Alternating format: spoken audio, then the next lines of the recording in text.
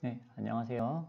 컴퓨터 그래픽스 및 실습 7주차 3교시와 4교시에서는 실습을 진행하도록 하겠습니다. 네, 이번 실습에서는 우선 먼저 기본 코드를 작성을 하고요. 그 다음에 애니메이션 추가하고 그 다음에 몇 가지 우리 배웠던 옵션들을 어 이제 변경해 보는 그런 작업들을 해보도록 하겠습니다. 네, 먼저 이제 책 420페이지 보시면 기본 코드가 있어요. 여기에 420페이지부터 421페이지까지 두 페이지 동안 이제 기본 코드가 있거든요. 요거를 작성해 주시기 바랍니다. 네, 작성이 다 되시면 이런 코드가 이제 나올 겁니다. 네, 여기서 함수가 여러 개 있죠.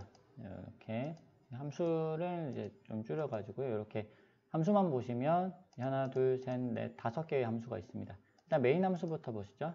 네, 메인 함수를 보시면요. 지금 초기화 시켜주는 함수들 예, 들어있고요. 지금 GLUT init display에서 원래 뭐 싱글하고 RGBA, 뭐 A가 이제 알파 값이거든요. 알파 값까지 지금 들어가 있는 거고, 그 다음에 지금 어, 추가된 게 GLUT depth라고 하는 게 추가가 됐어요. 그죠? 이렇게 싱글 모드, 그 다음에 RGBA 모드, depth 모드 이렇게 들어가 있다. 라고 이제 어, 여러분이 이제 보실 수가 있고요. 이게 지금 원래 depth라고 하는 거는 지금까지 나온 적이 없었죠. 네, depth가 지금 추가가 됐습니다. 그 다음에 GLUT init window size, window size가 700, 700으로 조정이 됐고 window position 0,0 여기서 뭐 조정하고 싶으시면 적당한 위치로 바꾸셔도 되겠습니다. 그 다음에 윈도우를 새로 만들고요. 뭐 sample drawing이라고 되어 있는데 요거는 뭐 여러분이 원하는 대로 어, 위크 뭐7 뭐 이렇게 하셔도 되겠고 여러분 원하는 이름으로 바꾸시면 되겠습니다. 클리어 컬러는 0.5, 0.5, 0.5 지금 색깔 색상이 들어가 있죠. 여기서 000으로 하면 검은색으로 되겠죠. 000으로 아, 뭐 일단 그대로 놔두고요. 뭐 일단 실행을 한번 시켜보죠. 실행을 시켜보시면 네, 이런 식으로 이제 나오죠. 지금 백그라운드 색깔이 약간 지금 회색 계열로 이렇게 가 있는 것을 보실 수가 있고요. 이제 여기서 이제 보시면 색상이 RGB가 이렇게 색상이 되어 있는데 이걸 0.0 RGB를 다 0.0 0.0으로 바꿔주면 네. 네, 색상이 이제 바뀌었을 겁니다. 네, 백그라운드 색상이 이제 까만색으로 이제 바뀌었죠. 그래서 뒤에가 검은색 배경이 됐고 아, 앞에는 이제 주전자 색이 이렇게 있습니다. 자 이렇게 잘 됐고요. 그 다음에 지금 여기서 메인 함수에서 이제 main loop로 들어가기 앞서 가지고 함수를 몇 개를 호출하는데 display function은 my display라고 my display라고 이름이 되어 있고 그 다음에 reshape function은 my reshape라고 되어 있어요. 그 다음에 지금 이전에 없었던 두 개의 함수가 새로 추가가 됐습니다. init light하고 init visibility하고 두 개가 추가가 되었는데요. init light 함수는 지금 빛을 조정하는 거예요. 지금 실행을 시켜 보시면 지금 주전자가 상당히 예쁘게 나오는 것을 보실 수가 있어요.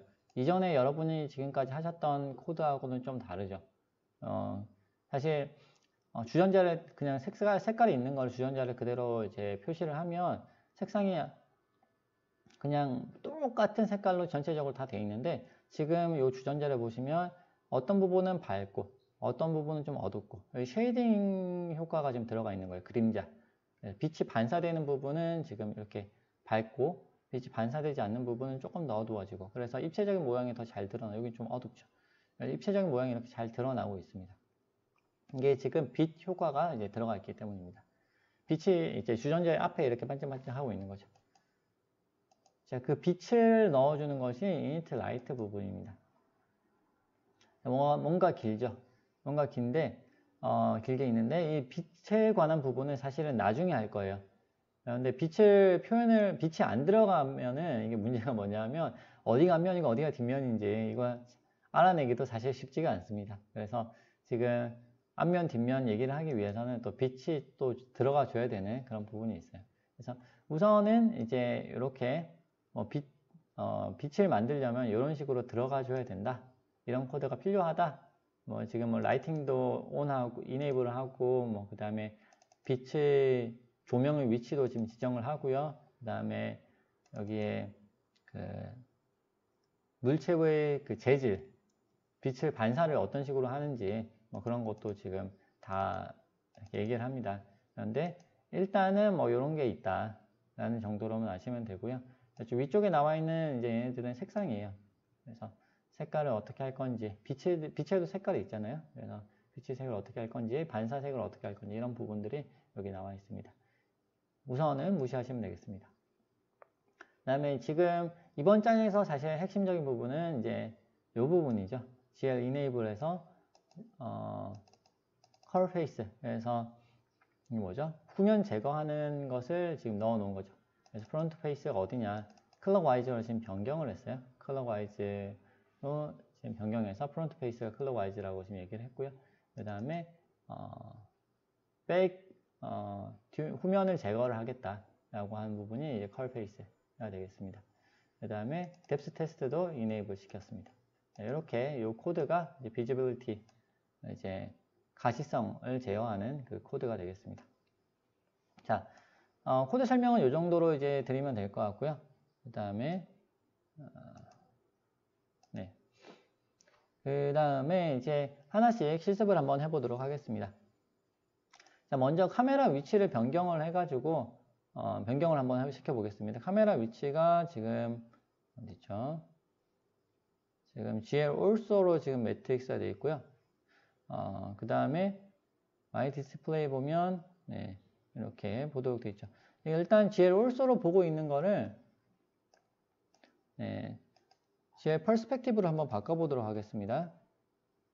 네, reshape function을 지난번에 만들었던 코드를 한번 들, 그대로 들고 와가지고요. 이거를 조금 변경을 해보겠습니다. 그래서 네. 얘가 width는 height. 네. 자, 이 코드는 지난 시간에 우리가 어, 로봇 팔 움직이고 할 때 썼던 코드거든요. 이렇게 변경을 했습니다. 변경한 다음에 실행을 시켜보면요. 지금 뭐가 잘 안 보이죠?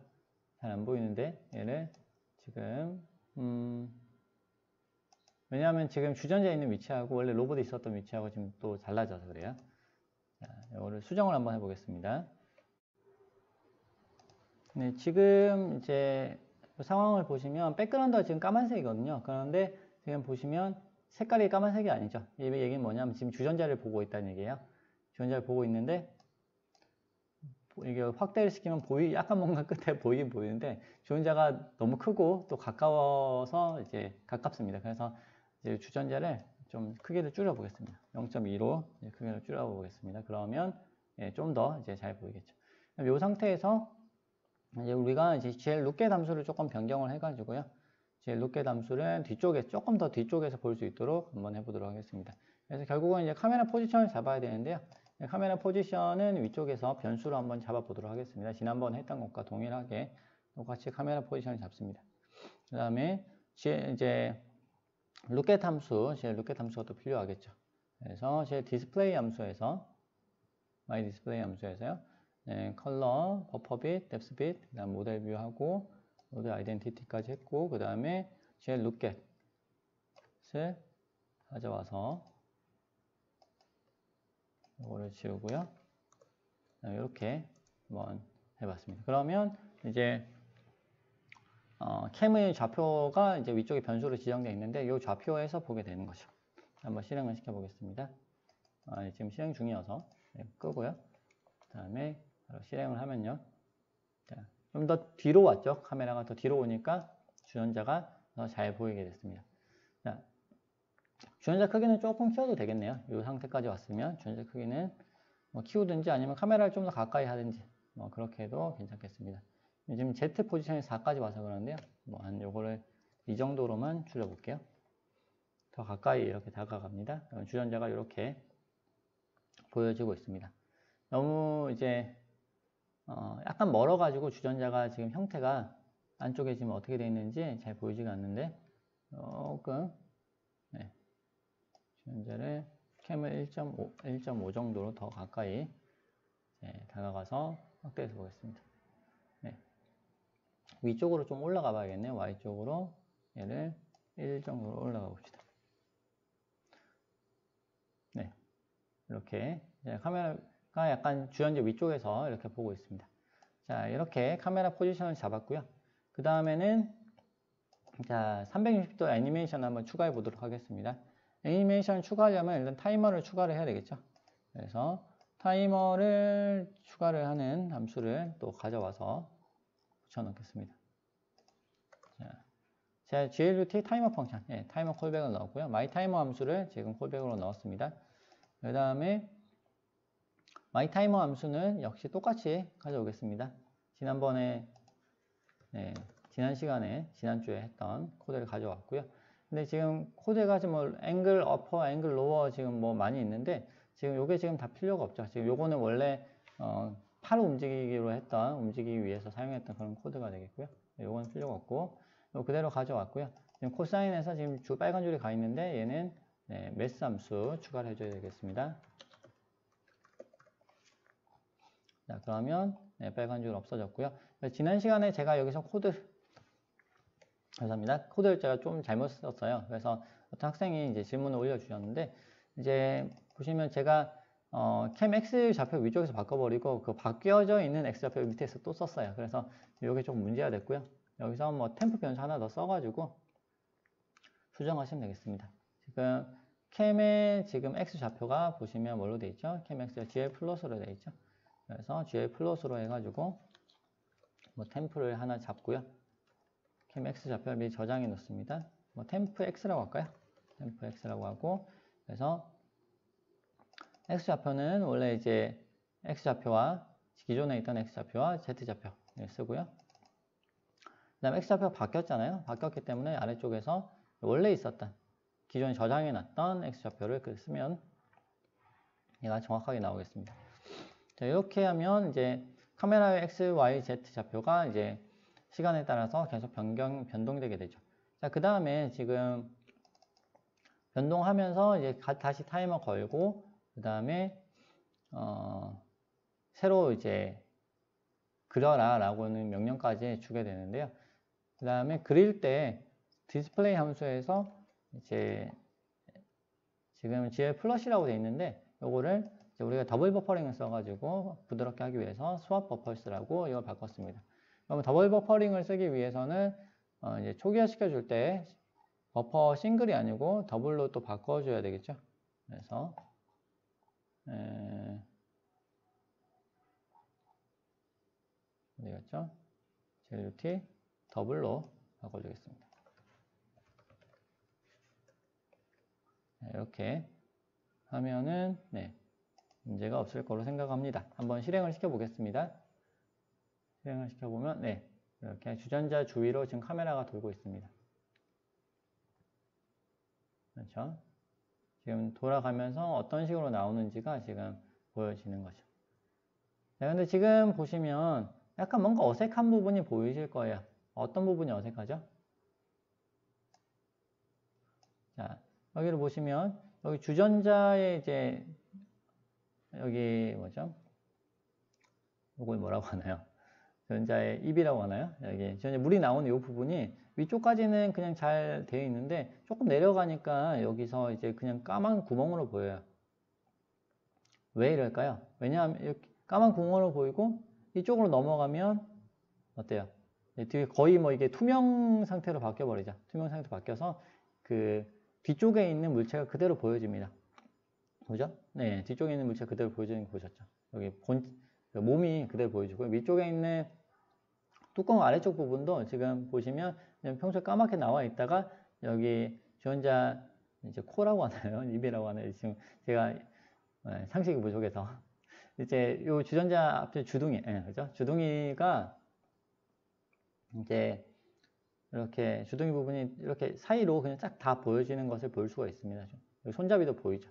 이게 왜 그럴까요? 왜냐하면 이제 여기서 우리가 백 이제 뒤쪽을 뒤쪽 면을 다 잘라 버려서 그래요. 뒤쪽 면을 이제 그리지 않겠다라고 표시를 했기 때문에 여기 사이에 있는 요 면은 뒤쪽 면으로 표시가 되어 있던 거예요.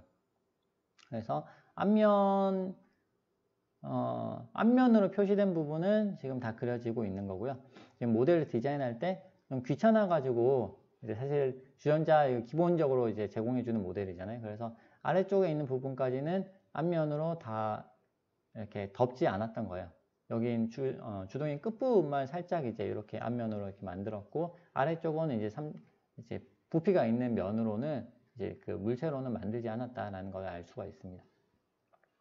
그래서 이제 그럼 요거를 이제 우리가 어, 후면 제거를 안 할 때 어떻게 되는지 또 다른 옵션들을 바꿀 때 어떻게 되는지 등등은 잠깐 쉬었다가 다음 시간에 또 살펴보도록 하겠습니다.